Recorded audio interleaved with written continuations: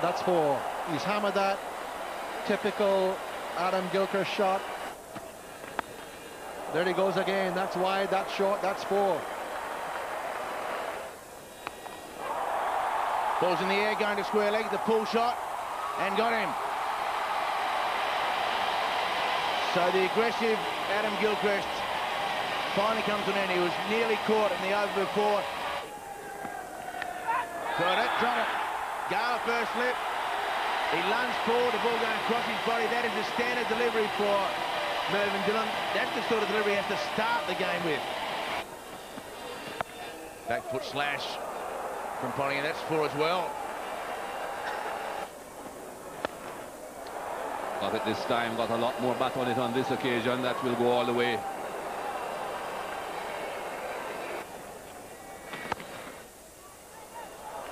He's got it through, and it will go all the way. Finds the boundary. Full stretch dive. 50 for Ricky Ponting. Another one to add to the many scores he got in the Test series in which he was man of the match, man of the series.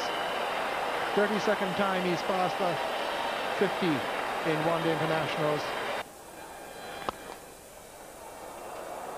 Straight down the ground and a chase around, he won't get there. That's beautifully timed by Ponting. In the air, fielder up there and taken.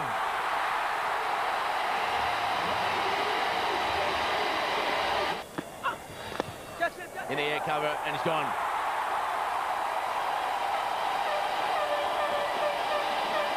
Ricardo Powell, an easy catch for a player of his quality. That's flew off the edge and Mervyn Dillon takes the catch. Another wicket for Omari Banks. Well, that's a very important wicket there for Omari Banks. Symonds getting a little frustrated there, trying to come down and... Just past Ricardo Powell. That will go all the way. Well, it was in the air. In the air, but there's a big gap between the back fine leg and just in front of square, and he found it. Safe. And four.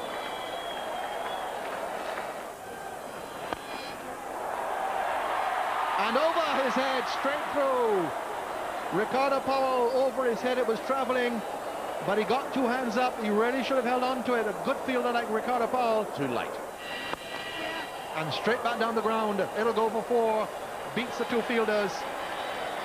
So Ian Harvey finishes off with a boundary. A splendid innings by him. And a superb partnership between himself and Bevan. Worth 87 from just 62 deliveries. Has boosted Australia to 270 for five an expensive last over from Corey Collymore. The offside is, well, you don't want to chase those.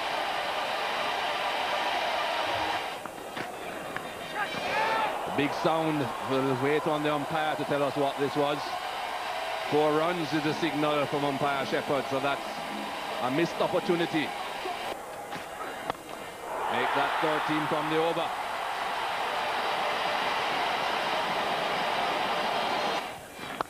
Oh, that's four.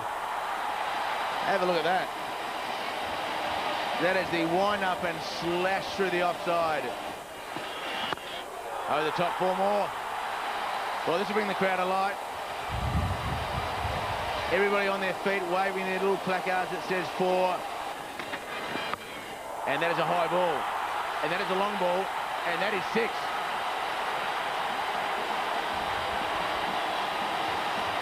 the wicket. Gayle goes high. It's in the air. It's going towards cover. And under it is Hogg. Can he catch it? What a catch. Brilliant catch to Brad Hogg. We've seen two Australians overrun the ball. And Hogg got there. Straight up. He is going to be dismissed as well. Another quick delivery from Brett Lee. Two wickets down.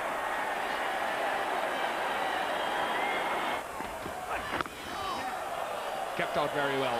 And double bluff. Attempted Yorker. Good shot from Devon Smith. He's a little man, but he hits the ball with a tremendous power. Lara gets it through. Will be his first boundary.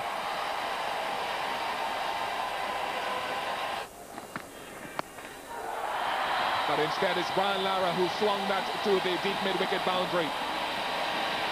First boundary and resumption for the West Indies. Beautifully. Edge and gone. Harvey comes back straight away. Good catch by Adam Gilchrist going across to his left. It's his strong side. And Australia have manufactured a breakthrough. The equation, the West Indies need 16, but Brett Lee's coming back in, and he's going to bowl in-swinging Yorkers at 90 miles an hour, if he can, or a bouncer. One bounce over for four. That's the danger of Brett Lee.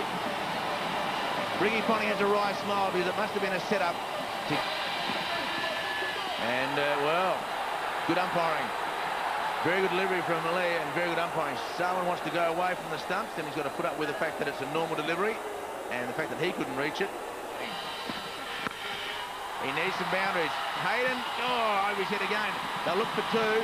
Will they come back for three? No, they won't. So Selwyn now has to back himself. And he's got up in the air. Will he get away with it? They'll look for two. They've got to run and cross. They won't. Well, they could have run and tried to cross and taken the run out for Dillon as long as they'd crossed. But maybe someone felt that he couldn't get back to cross. He's hit it high. He's hit it high. Hoggy's under it. And he's dropped it. So they only ran two. They should have run three. They should have been flat chat running as fast as they could. He's had a swing at it and it's gone for four. And that's no good for the West Indies. So in a rain-affected match, Australia get away in a thriller. So under the Duckworth-Lewis method, Australia wins by two runs,